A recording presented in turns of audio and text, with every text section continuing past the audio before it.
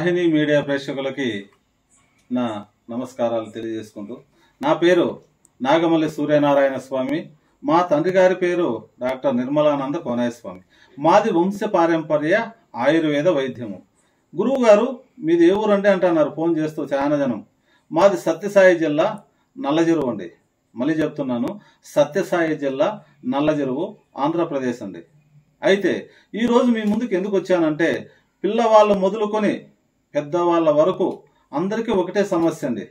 ఎందుకంటే చిన్నవాళ్ళకే బట్టతలు వస్తూ ఉంది. ఎందుకు కారణము? అంటే మనం వాడేటువంటి షాంపూలు తర్వాత సోపులు. ఏదంటే అది సోపుల్లో మామూలుగా అంటే కొత్తగా ప్రోడక్ట్ ఏది వస్తే దాన్ని వాడడము ఇది వాడంటే బాగుంటుంది అది వాడండి బాగుంటుంది అంటే మార్కెట్లో మనం అన్ని వాడుతున్నాం. ఏమి వాడినా కూడా మనకు తలపైన ఎంటుకలు సరిగా నిలవడం లేదండి. దానిలతో ఇంకొక జబ్బు వస్తుందండి. సుండ్రులాగా వచ్చేసి డాండ్రఫ్ అంటారు ఇంకా ఉండేటివి కూడా ఊడిపోతున్నాయి. అలా కాకుండా మీకు మీరుగా మంచి ఒక ఆయిల్ తయారు చేసుకొని మీరు వాడుకుంటారని మీకు నేను ఈ ఔషధాన్ని అంటే ఈ రెమెడీని చూపిస్తున్నాను. మీకు మీరుగా తయారు చేసుకోవాలని కోరుకుంటున్నాను. అయితే దానికి కావాల్సినవి ముడి పదార్థాలు. మనకు ఏమేమి కావాలి? ఆ ఆయిల్ తయారు చేసుకోవడానికి ఏమి కావాలి అంటే చూడండి ఇది గుంటగలగర. తాజాగా ఉండేది తీసుకోండి. బాగా ఆకులు తాజాగా ఉండే గుంటగలగర తీసుకోండి. దీంట్లో తెల్ల పూలు వస్తాయండి. పూలు కూడా ఇలా ఉంటాయి చూడండి. నీట్గా చూడండి పూలు ఇలా ఉంటాయి. ఆకులు ఇలా ఉంటాయి. ఇలా మొత్తం సమూలం తీసుకోండి. ఇది ఒక అర లీటర్ దంచి మామూలుగా మనం రోట్లో కానీ కల్వంలో కానీ ఎక్కడైనా బండ మీద కానీ వేసి బాగా దంచాలి. దంచి పిండితే రసం వస్తుంది. నల్లగా వస్తుందండి. ఈ రసము ఒక అర్ధ లీటర్ తీసుకోండి. తర్వాత దానికి కావాల్సినవి కరక్కాయలు. ఇవి చూడండి తాజా కరకాయలు తీసుకోండి బాగా తెల్లగా ఉండేవి మంచివి. ఎందుకంటే మనకు మనమే చేసుకుంటున్నాం కాబట్టి మంచిగా చేసుకోవాలి. తర్వాత తాండ్రకాయలు. ఇవే తానికాయలు కూడా అంటారు. తాండ్రకాయలు. తరువాత ఇది చూడండి మంజిష్ట. పుల్లలు పుల్లలు వస్తాయి దంచి చూర్ణం చేసుకోవాలి ఇలా. తరువాత దానికి ఇది శ్రీగంధము. మామూలుగా మైసూర్ శాండల్ సోపుల్లో వాడతారండి. ఇది శ్రీగంధము. ఇది శ్రీగంధం పొడి. తర్వాత ఇవి సుగంధ పరిమళాన్ని ఇచ్చేటువంటివి గంధక కచ్చూరాలు అంటారు. చూడండి బాగున్నాయి. ఇలా కట్ చేసి ఉంటారు. ఇవి గంధక కచ్చూరాలు ఇక తర్వాత ఇంకోటి చెంగల్వ కోస్టు ఇది కూడా చాలా స్మెల్ వస్తుందండి. మంచి సువాసన ఉంటుంది. ఇది చెంగల్వ కోస్టు తరువాత ఇది అతి మధురము. చూడండి ఇష్టిమధికం అంటారు అతి మధురము అంటారు. ఇది అతి మధురము. ఇది చూర్ణం చేసుకోవాలండి వంద గ్రాములు. ఇది సుగంధ పాలవేర్లు ఇది చూడండి బాగా చూడండి బాగుంటుంది ఇది. మంచి స్మెల్ ఉంటుంది. సుగంధ పాలవేర్లు తరువాత ఉసిరిక. ఆమలకి అంటారు కదా ఉసిరికాయలు బాగా తాజాగా ఉండేటివి తీసుకోండి. ఇవి రెండు వందల గ్రాములు రసం తీసుకోవాలి. ఒట్టివైతే వంద గ్రాములే. ఇక తర్వాత ఇవి దాస అని మందారం పూలు. తగినన్ని ఎన్నేసుకునే ఇబ్బంది లేదు. ఇక వట్టి వేర్లు. చూడండి. ఇవి గడ్డిలాగా ఉంటాయి. వరిగడ్డిలాగా ఉంటాయి. బాగా చూడండి. ఇవి వట్టి వేర్లు. ఇక అతి ముఖ్యమైనవి. ఎందుకంటే ఎంటుకలను పాడు చేయకుండా బలాన్ని పట్టి ఉంచేటివి ఇవి మర్రి ఊడలు. మర్రి ఊడలు కొనలు తీసుకోవాలండి. తాన తాజాగా ఉండేటివి. ఇలా సూదుల్లాగా ఉంటాయి కొన. ఇలా తీసుకోండి. ఇంచితే బాగా మెత్తగిరిగిపోతాయి చూడండి. ఇవి. ఎందుకంటే ఈ మర్రి ఊడలు ఎలా పెరుగుతాయో మన ఎంటుకలు కూడా అలా జడల్లాగా పెరుగుతాయి. ముంగా ముఖ్యంగా మనకు కావాల్సింది దీనికి అంతటికి కొబ్బరి నూనె దాని కోకోనట్ ఆయిల్. బాగా తాజాగా ఉండేది. ఇది తీసుకోండి. కొబ్బరి నుంచి చూడండి బాగా అల్లాడేస్తే నీళ్ళలాగా ఉంటుంది. అయితే ఇప్పుడు కొలతలు చెప్తాను మీకు. ఎంతెంత కావాలి? కొబ్బరి నూనె రెండు లీటర్లు తీసుకోండి. కొబ్బరి నూనె రెండు లీటర్లు.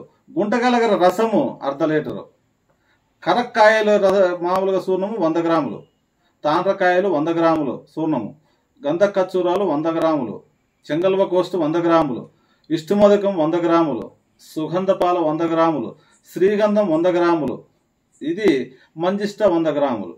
ఇది పచ్చివైతే రెండు వందల గ్రాములు వేసుకోండి రసము. ఒట్టివైతే ఇది కూడా వంద గ్రాములు. ఇవి తగినన్ని.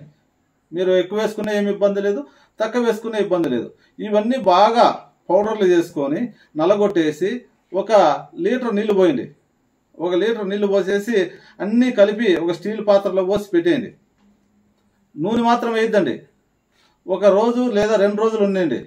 ఇవన్నీ ఒకదానికొకటి సమ్మేళనం అయ్యి బాగా లోపల ఊరుతాయి. అంటే సమ్మేళనం అవుతాయి బాగా. ఒకదానికొకటి సంపర్కం జరుగుతాయి. జరిగి బాగా అంత ఊరుతుందండి. అప్పుడు మనం ఏం చేయాలి?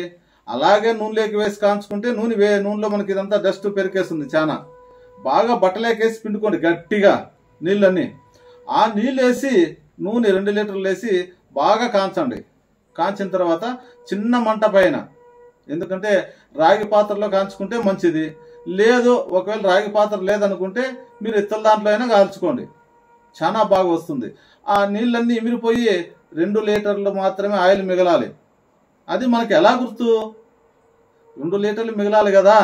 అది ఎలా గుర్తు అంటే ఒక పుల్ల తీసుకొని ఆయిల్లో అద్ది నిప్పు పైన వేసినామనుకోండి నిప్పు దగ్గును మంటుకుంటుంది ఆరిపోదు. అప్పుడు లేదు అందాజు తెలిసిపోయింది అనుకోండి మనం పెట్టిన ఆయిల్ మాత్రమే ఉంది అనుకుంటే అప్పుడు ఆఫ్ చేసేసి నీట్గా చల్లారిన తర్వాత వడగట్టి మీరు రోజు తలకు రాస్తూ వస్తే మీ వెంట్రుకలు చాలా నల్లగా నిగనిగలాడుతూ ఏమి? తుమ్మెదల రెక్కల్లాగా నల్లగా ఉంటాయి. వెంట్రుకలు. తుమ్మెదకు రెక్కలు నల్లగా ఎలా ఉంటాయి?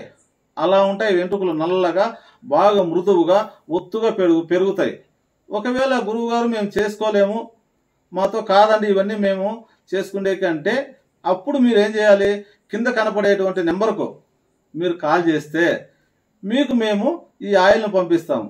కాబట్టి మీరు తయారు చేసుకోలేని పక్షంలో మాకు ఫోన్ చేసి కింద కనపడేటువంటి ఫోన్ నెంబర్కు కాల్ చేసి మీరు పంపించమంటే పంపిస్తామండి. ఇంకా మేము అనేకమైనటువంటి దీర్ఘ రోగాలకు క్యాన్సర్ కానీ హెచ్ఐవి కానీ తర్వాత వచ్చేసి హెపటైటిస్ బి కానీ తర్వాత ఇంకా ఫైల్స్ కానీ చాలా మంది ఫైల్స్ ఉంటాయండి. మోకాల నొప్పులకు కానీ గుండె జబ్బుకు కానీ లెన్స్ ప్రాబ్లం ఉంటాయండి. చాలా మందికి వీక్ అయి ఉంటాయి. కిడ్నీలో స్టోన్స్ ఉంటాయి. ఇలాంటి జబ్బులు అన్నిటికీ కూడా చాలా దీర్ఘకాలికంగా ఉండే రోగాలకు కూడా మేము మందులు ఇస్తామండి. కాబట్టి మీరు ఈ విషయాన్ని తెలుసుకున్నందుకు ధన్యవాదాలు తెలియజేస్తున్నాం. ఆయుర్వేద గిరిజన మూలిక మరియు పారంపర వైద్యం చేసే ప్రతి ఒక్కరూ మా ఛానల్ ద్వారా మీ విద్యను ప్రజలకు తెలపాలనుకుంటే మా నంబర్కి కాల్ లేదా వాట్సాప్ చేయండి. మీ దగ్గర ఉన్న ఆయుర్వేద మరియు హెర్బల్ ప్రొడక్ట్స్లను మా ఛానల్ ద్వారా ప్రజల్లోకి తీసుకువెళ్తాం. స్క్రీన్పై కనిపిస్తున్న నెంబర్కి కాల్ చేయండి లేదా మీ వివరాలు మాకు మెయిల్ ద్వారా పంపండి. మా mail ID Vahini media at the rate of Gmail dot com. Video కనుక మీకు నచ్చినట్లయితే లైక్ చేయండి షేర్ చేయండి మరిన్ని వీడియోస్ కోసం మా ఛానల్ని సబ్స్క్రైబ్ చేయండి. మీ అభిప్రాయాలు మాకు కామెంట్స్ రూపంలో చెప్పండి. మరిన్ని వీడియోస్ కోసం మా ఛానల్ని సబ్స్క్రైబ్ చేయండి.